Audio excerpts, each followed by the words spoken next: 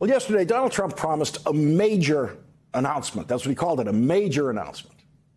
And today, Donald Trump made what he called a major announcement. And if you haven't heard about it, that's because it amounted to nothing particularly newsworthy other than another revelation of the constant mental turmoil that is Donald Trump's mind. In the second month of the Trump presidency, we called in the psychiatrists on this program. That's right. After four weeks of the Trump presidency, what we were seeing was something far beyond the reach of the usual tools of political analysis. We were seeing a 21st century version of the madness of King George III. Here is what the first psychiatric discussion of Donald Trump sounded like on this program in February of 2017. If we could construct a psychiatric Frankenstein monster, we could not create a leader more dangerously mentally ill than Donald Trump. He's a paranoid, psychopathic narcissist who's divorced from reality and lashes out impulsively at his imagined enemies. He can't stand an aspect of reality that uh, he doesn't want, so he rejects it.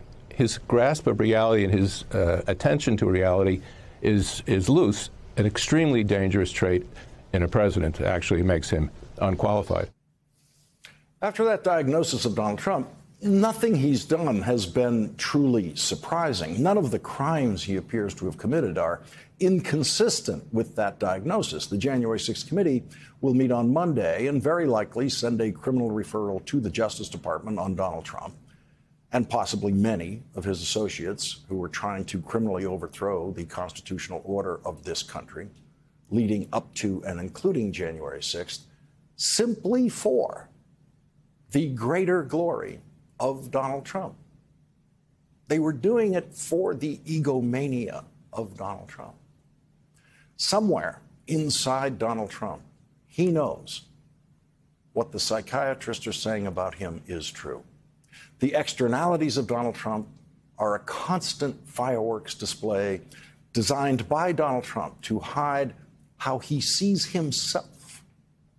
But today, today, Donald Trump revealed just how much he hates what he sees when he looks at himself.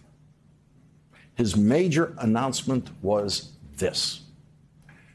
He called this a major announcement, a Donald Trump digital trading card that you can get online buying from Donald Trump for only $99. That's $99, which Donald Trump so desperately needs that he put out that digital card. He said it is very much like a baseball card. Those were his words, very much like a baseball card. When Donald Trump was in high school, he was playing baseball. He no doubt dreamed, as all of us do when we're kids playing baseball, of someday being on a baseball card but he wasn't good enough. And he knows he wasn't good enough. Donald Trump knows that he doesn't look like the fake superhero in that card that he put out today, but he is telling you very openly and very desperately how much he wishes that he looked like that. That image is a precise measure of just how inadequate Donald Trump feels. That's the way Donald Trump thinks he should look. Let's take a look at it again. Let's take a look at the way Donald Trump thinks he should look. Let's put that back up the screen on the screen if the control room can. Look at that. Look at that. That is Donald Trump's hope of the way you see him. That's the way he wants to look. But the bathroom mirror cruelly tells him exactly how he does look. And there's nothing wrong with the way Donald Trump looks in real life. But Donald Trump thinks so. Donald Trump thinks the 76 year old overweight version of himself isn't worth $99. And so this tortured man puts out this demented image of himself in a desperate attempt at a kind of glorification he knows he can never have and his continuing attempt to vacuum up money from his gullible supporters. One of the public defenders of a January 6th attacker of the Capitol said at his sentencing hearing his outspoken, vulgar online persona belied a roiling inner turmoil about his place in the world and a deep sense of inadequacy. That picture of Donald Trump is the very picture of a roiling inner turmoil about his place in the world and a deep sense of inadequacy. The Justice Department is already investigating Donald Trump for multiple potential crimes, and so the January 6th committee's referral of Donald Trump to the Justice Department for criminal prosecution for his activities leading up to and on January 6th will not be necessary to actually get that investigation started because it's already underway, supervised now by Special Prosecutor Jack Smith.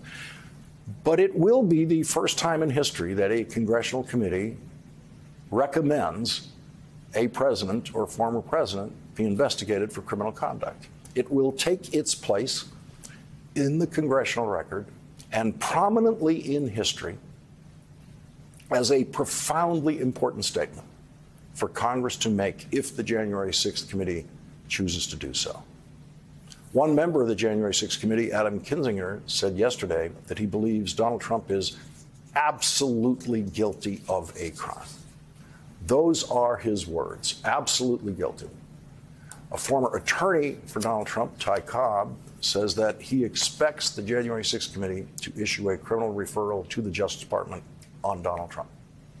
In its hearing on Monday, the January 6th committee is expected to present their findings and vote to adopt their final report and any criminal referrals the committee may also choose to make. When speaking with reporters today, Chairman Benny Thompson hinted that the hearing will include new evidence.